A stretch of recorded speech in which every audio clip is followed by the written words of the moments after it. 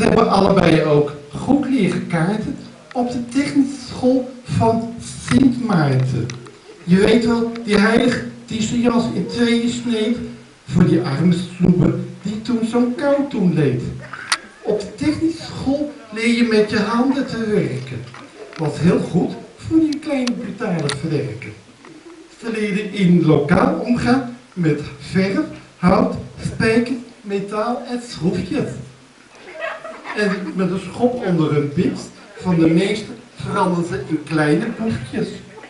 Toen ome Piet gediplomeerd van de LTS afging, was hij 1,75 meter groot.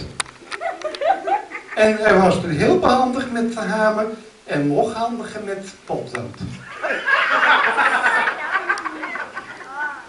Toen ome John zijn school op de 17e jaar mocht afsluiten, was hij zesde met uitheuken, maar wel de allerbeste met autospuiten.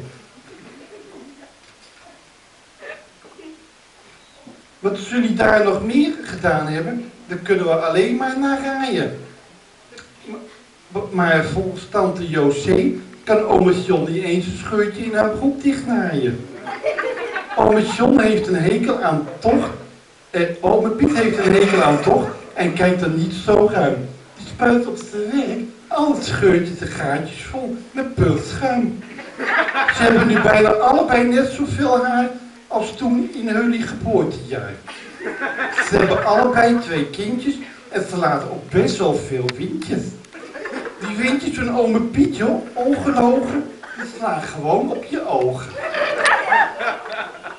En die scheetjes van ome John, nou, die ruik je echt niet. Je moet alleen wel goed hopen dat je dan hartstikke snel echt ver weg kan lopen. Ome Piet was pas geleden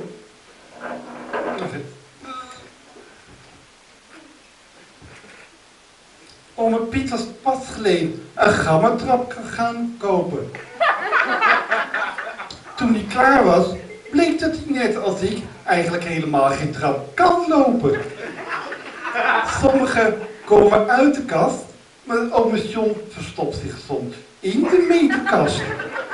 Is stiekem chipjes aan het eten. Dus kijken hoe lang ome John nog in de kast past. Ome John heb ik uit betrouwbare bron vernomen, houdt niet van mannen kussen. Hij vindt alleen zijn vrouw, zijn kinderen, zijn vriendinnen en zijn zussen. Ome Johns geeft in het bos soms vreemd effect.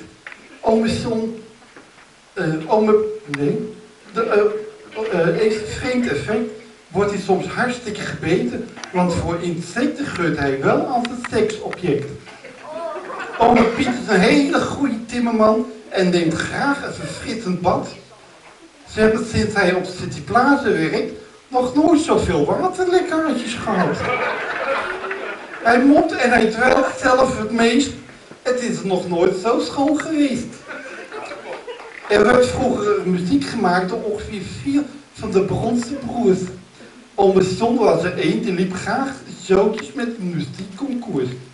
Je weet wel, naar voren, naar links, stapje achteruit en dan weer door. En de andere muziekherriemaker ging er rechtsaf, maar ome John met het stalen gezicht van de sergeant-major liep onverstoorbaar eventjes als enigste bandlid een stukje rechtdoor. Ome Piet heeft een nieuwe auto die nu wel past in zijn garage. Hij heeft nu een brons geverfde auto van het merk Klisma type sportage. Ome Piet houdt ook heel veel, heel veel van kroketten en oliebollen. Maar als enigste van de familie heeft hij geen last van vetrollen. In de barbecue en in de openheid wil hij graag een fikkie stoken. En in de keuken staat hij veel lekkere dingen aan te koken. Als laatste wil ik u nog vertellen, ome is John van altijd klaar, je hoeft maar te bellen.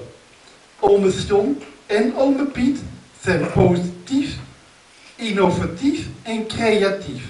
Ik vind ze allebei op best wel lief en daarom deze felicitatiebrief. De eind.